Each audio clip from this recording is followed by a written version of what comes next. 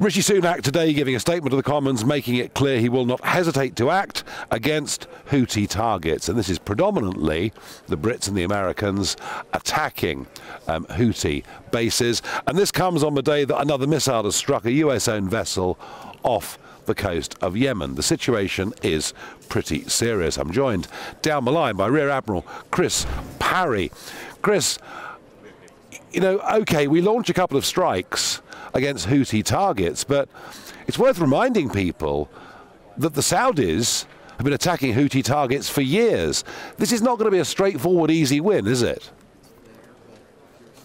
No, there's no easy win in uh, war nowadays, uh, Nigel. We, we've seen the dem- democratization of violence and quite a lot of the technology that goes uh, with warfare. It's not the preserve of states anymore. And what you've got here is a terrorist group that's got access to the sort of technologies you expect states to deploy. Well, that's no surprise because they're being supplied by two states, China and Iran. Uh, and uh, it is a problem. However, I think you'll find the other night that the Houthis took quite a hit from the United States and from ourselves. We probably took out about a quarter of their capability. Um, and to tell you the truth, okay. the number of strikes reduced. They've been singletons. They haven't been multiple strikes like we've seen. We've shown them our power. And frankly, what we're saying to them is, you know, that's what we can do. If you want more of that, just carry on.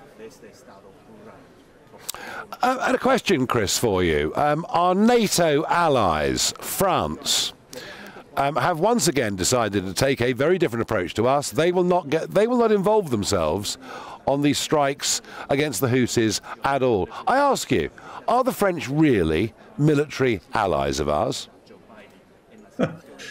French, um, when it's in their interests, are allies of us. Uh, you know, obviously within NATO, they're, they're pretty strong. And if we were attacked by what we call a pacing power or or something like that, between Russia or China, then they'd be in there straight away. There's no question. Uh, they obviously have different interests to us. I think what is more remarkable, um, Nigel, is how feeble our other European allies have been. Uh, I mean, there's a reason for that. I don't think there's another European country that's got the capability to sit in the in the front line right now. Uh, and at the weekend, I, I, was bemoaning the fact that most of our European allies can't fight and won't fight. Um, so it's only really the Brits, ourselves, and the French that can be there. The French are there, to be fair. They've got a, a fairly high-priced frigate there that can shoot these things down.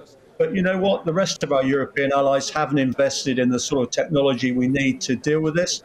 That's why they're not there it's not just a question of their political interests. No, and it raises the question, of course, about our levels of capability, doesn't it, Chris? I mean, you know, here we are getting involved in this with a Royal Navy that becomes physically weaker and weaker and with less manpower. Yeah, you and I have discussed before, Nigel. You know, the sea is the physical equivalent of the World Wide Web. And if we don't invest in our sea power, then we're not going to be involved in globalization.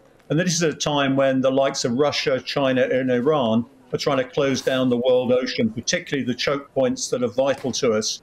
I think the government, to tell you the truth, I think the country is starting to get the message, and that sea blindness that we've seen in the past is starting to evaporate. You know, we're really good at this sort of thing, and our, our sailors have done really well uh, in tracking the US in this, but the United States can't do it all on its own. Uh, and if you tot up the number of warships, for example, we've got in the free world, there's nearly a thousand of them. We need to actually consolidate and coordinate our efforts to make sure that these totalitarian powers like Russia, China, Iran, and North Korea don't get their way at sea in particular. Yeah, and talking of Iran, uh, Chris, you know, I wonder, are we really entering a proxy war with Iran? Is there a danger of serious escalation in the region?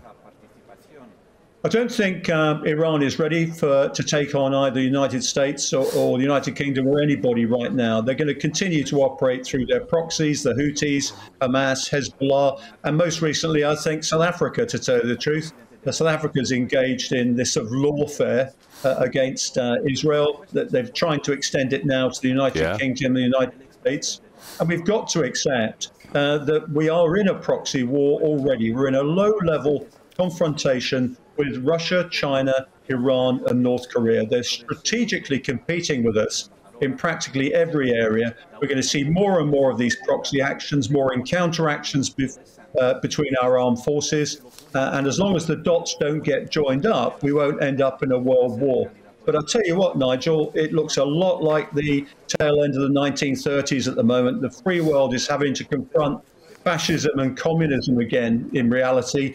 And I'm afraid to say some of the rhetoric, some of the uh, character of today's uh, sort of environment uh, replicates what happened in the late 1930s. Worryingly, I think you're right, Chris Parry, but thank you as ever for joining me on the programme.